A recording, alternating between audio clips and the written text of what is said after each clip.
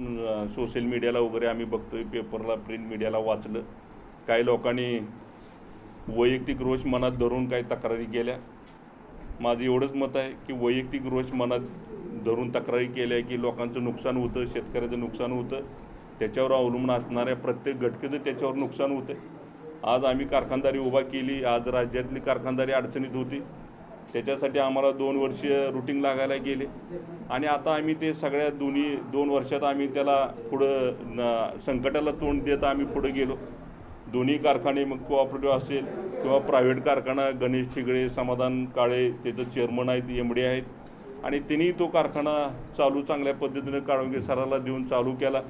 तिथली मागची F R P सगळी कारखान्याच्या माध्यमातून सीताराम महाराजाची एफ आर पीसुद्धा त्या मॅनेजमेंटनं पूर्ण दिलेली आहे.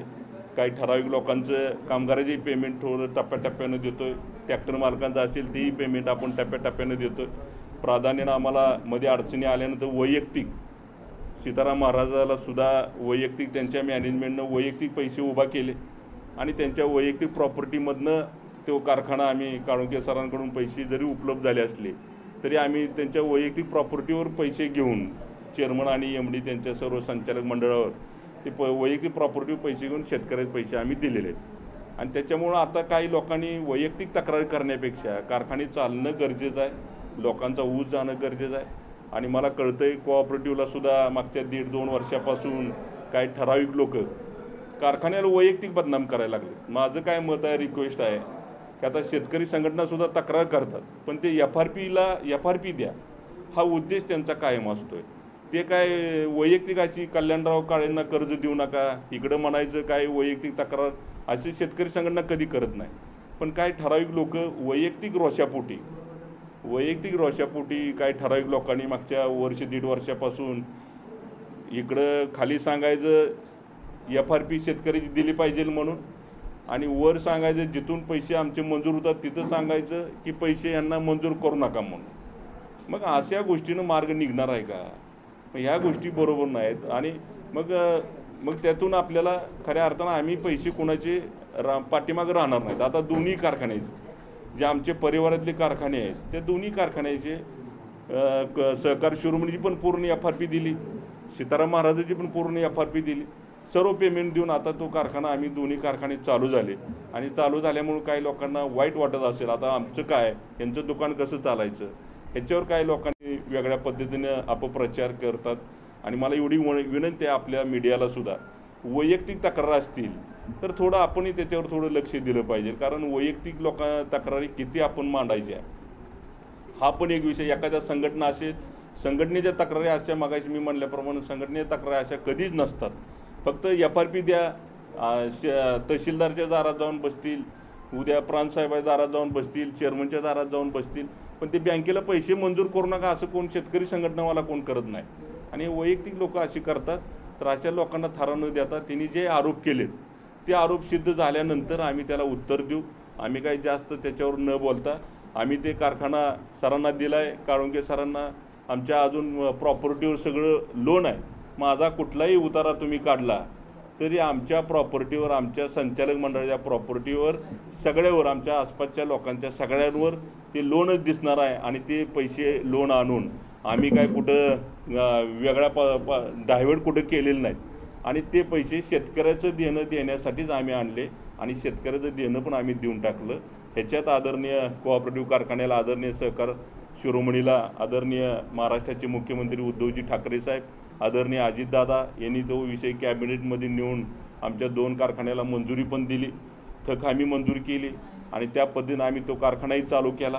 आणि या सगळ्या गोष्टी अतिशय आदरणीय पवारसाहेबांचा सुद्धा कारखाना चालू झाला पाहिजे. शेतकऱ्यांचे ऊस लवकरात लवकर क्रशिंग झालं पाहिजे. त्याला मोबदलासुद्धा चांगल्या पद्धतीनं दिला पाहिजे. ही भूमिका पवार साहेबांची आदरणीय अजितदादांची आहे.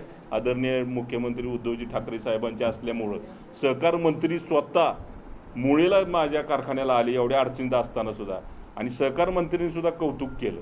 आणि मग ह्या सगळ्या गोष्टी आम्ही आत्तापर्यंत एफ आर बीपेक्षा जादा दर देण्याची भूमिका आम्ही सहकार शिवमरीनं पार पाडलेली आहे.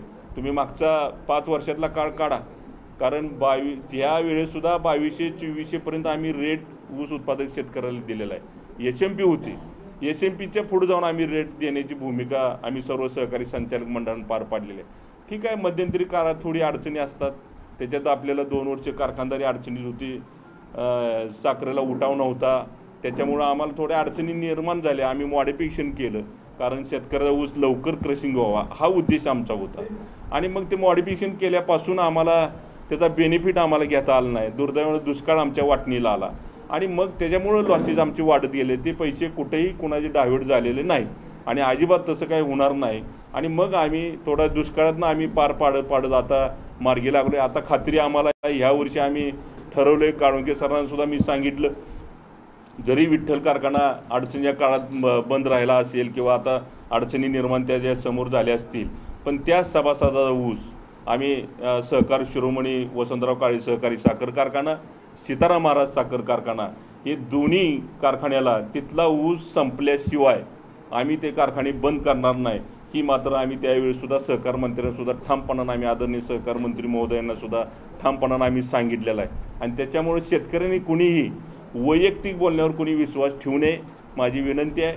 आणि अशा भूलथापाला तुम्हीसुद्धा बळी पडू नका अशी ठराविक लोक आहेत मा मार्केटमध्ये. आणि मग माझं वैयक्तिक काय नाही झालं की मार्केटमध्ये येतात. मग असं करा. मग वीस वर्षे काय केलं त्यांनी? वीस वर्षे आमच्याकडे काम म्हणून पदाधिकारी म्हणून काम केलं. वीस वर्षात काय हा प्रश्न विचारला नाही. आता का हा प्रश्न? म्हणजे त्याच्या पाठीमागं गौड मंगाल आहे. आणि मग आम्ही शेतकऱ्यांच्या चुली पेटवणारी माणसं आहे. का शेतकऱ्यांच्या चुली पेटवणारी माणसं आम्ही सगळीजण आमची शिकवणच आदरणीय सहकार शिवणं आदरणीय दादांची आहे. आणि त्याच्यामुळं कुणाचाही पैसा मग समजा सहकार शिरोमणीचं एफ आर पी आम्ही देत आलेलो आहे चाललो आहे पूर्ण करत आलेलो आहे. काही ठराविक लोकांनी वैयक्तिक तक्रारी केल्या. सीताराम महाराजाचं काही शेअरची रक्कम अपुरी राहिलेली आहे. त्याच्यासाठी आता आम्ही ते प्रयत्न आम्ही चालू पहिल्यांदा दोन तीन वर्ष तोट्यात असल्यामुळं ती रक्कम द्यायला आम्हाला अडचण होती. पण एफ आर पीची रक्कम आम्ही पूर्ण केलेली आहे. आता ते मॅनेजमेंटसुद्धा तिथले चेअरमन आणि एम डी ते सुद्धा आम्ही ते प्राधान्यानं ठरवलेलं आहे. की आता इथनं पुढं प्राधान्यानं आम्ही शेतकऱ्यांचे सुद्धा पैसे एक ना एक रुपया पैना पै देण्याची भूमिका आम्ही नक्कीच त्या निमित्तानं पार पाडू. कुणाचाही पैसा हात जोडून विनंती आहे. कुणाचाही पैसा बुडणार नाही. आणि बुडला तर आम्ही तुमच्यापर्यंत तोंड दाखवणार नाही ती वेळच येणार नाही. सगळेच पैसे आम्ही देण्यासाठी आम्ही कटिबद्ध आहोत. साधारण एक सहा महिन्यापर्यंत आम्ही सगळे क्लिअर करू. नाही शेतकऱ्यांनी संभ्रमात राहू नये. आज सीतारामची एफ आर पी शंभर रुपये बाकी होती. झोपीत लोकांना पैसे गेले मेसेज गेले कारखान्याचे की बाबा पैसे खात्यावर जमा झालेत म्हणून. त्याच्यामुळं फक्त ठीक आहे शेतकऱ्याची रक्कम जी च- शेअरची रक्कम असेल किंवा तिने ऊस घातला असेल ते थोडे शेअरची रक्कम देताना प्रॉफिटमध्ये यायला पाहिजे संस्था. त्यातून ती फिरवावं लागतात. तिथं काय गटोळ बांधून कल्याणराव काळेने कुठं पैसे ठेवले तर असं नाही. त्याच संस्थेतनं ते पैसे फिरवून रोटेशन करून द्यावं लागतं. आहे ना. सध्या आम्हाला तिची नोटीस आली नाही त्यांनी मेलवर काहीतरी तक्रारी दिलीत असं कळालं आम्हाला. आणि ठीक आहे ना पण अशा तक्रारी करणं म्हणजे शेतकऱ्याची अडवणूक करणं असं आहे असं माझं मत आहे. कारण आम्ही बघतोय आता एकदा एक तक्रार झाली. कारखाने चालवले एवढं सोपं राहिलं नाही. मग त्याच्यामुळे बँकेलाही अडचणी येतात बँकेचं एक्सपोजर कमी असतंय. अशा ह्या सगळ्या अडचणी निर्माण होतात. आणि म्हणून खरं तक्रारीकडून मार्ग निघत नाही. वैयक्तिक तक्रार नको आहे तुम्ही तिथं भांडा काय अडचणी आल्या तर सांगा. तहसीलदार आहेत प्रांत आहेत. आता आणि एफ आर पी पण आम्ही सगळे दिलेले त्याच्यामुळे काय वैयक्तिक तक्रार करण्यात आम्ही त्याच्यात काय गांभीर्याने घेत नाही. समजा काय झालंच काय तक्रारी आल्याच तर त्याला निस्ताराला आम्ही खंबीर आहे ना. आम्ही कारखाने उभा केलेत आम्ही. आम्ही काय कुठं जमिनी घेतल्या नाही त्या कुठं आमचे कुठं फाईव्ह स्टार हॉटेल नाहीत. आमचा उतारा कुणाचाही काढा. प्रत्येक उतार्यावर आमच्या